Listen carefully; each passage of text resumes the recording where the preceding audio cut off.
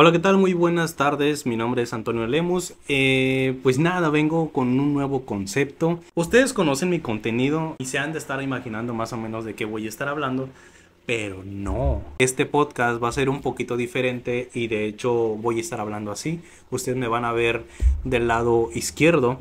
En alguno que otro momento voy a estar volteando a ver la cámara, pero el fin de aquí es el micrófono que ustedes escuchen y cuando no puedan verlo, pues lo puedan escuchar, ¿no? Pues como ustedes saben, yo he tenido pues uno que otro episodio de mi vida bastante fuerte y he buscado la manera de cómo superar esos traumas, de cómo intentar darle sabor a la vida. Entonces me gustaría compartirles mis pensamientos y los pensamientos de otras personas. Estas personas que voy a estar entrevistando, porque cabe recalcar que no soy un entrevistador profesional. Con todo esto me gustaría decirles que mis invitados que yo he considerado que tienen algo que aportar, pues no son personas que yo escogí al azar, sino que pues me han contado una parte de su vida que yo creo que es interesante compartirlos con ustedes. ¿No les ha pasado que a veces ustedes platican con alguna persona en la calle, en el trabajo, donde sea, y dices, esta persona, esta señora, este señor, este niño, ha pasado por un chingo y lo veo bien feliz? ¿Cómo le hace?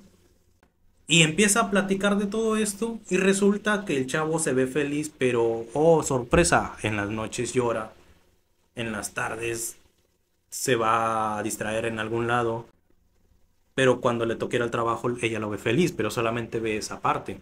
Quiero que entiendan que hay momentos en la vida, que así como la felicidad llega a un tope y de repente cae, también la tristeza, también la desesperación llega a un tope pero siempre termina bajando.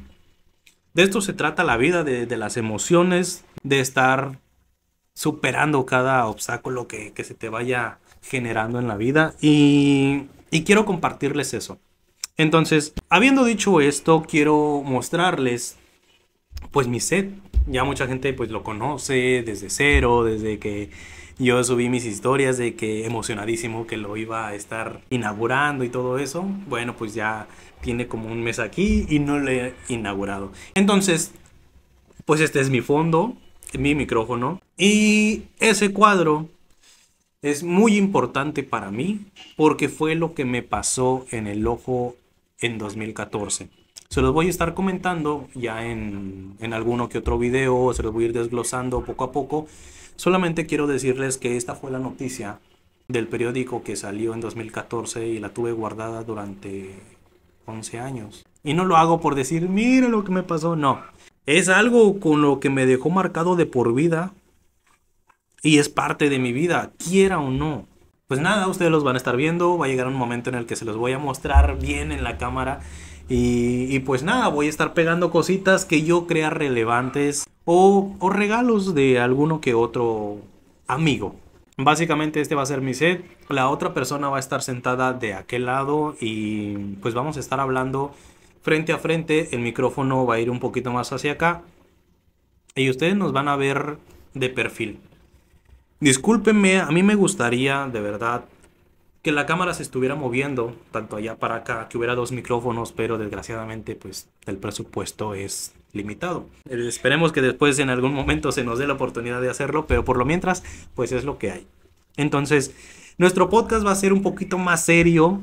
Esperemos que pues sea uno que otro también de, de hablando de cosas chistosas, pero el objetivo principal es ese. Cuando tengan un momento, que tengan un momento de bajón, que se sientan solos, que no le encuentren sentido a la vida, pueden ver este podcast y escuchar las palabras de una persona grande, de una persona que tuvo un accidente, de una persona que superó un chorro de obstáculos y ve la vida diferente o ve la vida a su manera. Siempre aprendemos de las personas que, que platican con nosotros. Y yo he aprendido un chorro y quiero compartirles eso con ustedes porque creo que lo que me han dicho o lo que han compartido conmigo me ha servido muchísimo. Y pues, pues nada, Quiero que lo escuchen. Entonces, para terminar, quiero hablarles un poquito de mí, de mi concepto de cómo veo la vida y pues inaugurando este pequeño espacio. diciéndoles que mi nombre real es José Antonio Lemos. Voy a cumplir 25 y me duele mucho cumplir 25. Sé que para muchos soy un escuincle, pero para otros ya soy un robo. He pasado por varias etapas de mi vida, tanto felices como pues, trágicas. Pero dentro de lo que cabe yo veo la vida muy diferente y la veo pues bastante bien, que no es tan mala. Después de tener tres accidentes que posiblemente me hayan costado la vida, veo la vida diferente. Y la veo como segundas oportunidades, no la veo como que mm, es lo que quedó. Y pues quiero decirles que el trauma más grande de mi vida me costó 10 años. Me costó 10 años superarlo por completo por así decirlo, porque pues siempre va a haber recaídas, pero hace cinco años aún seguía llorando todas las noches, entonces, ¿qué les digo? Les voy a estar diciendo pues más o menos el, el, proceso que tuve, no tuve ayuda psicológica, aunque me hubiera gustado tenerla. Y por lo pronto, este soy yo. Es más Antonio Lemos que Mr. Lemos. Y hablándoles un poquito más sincero.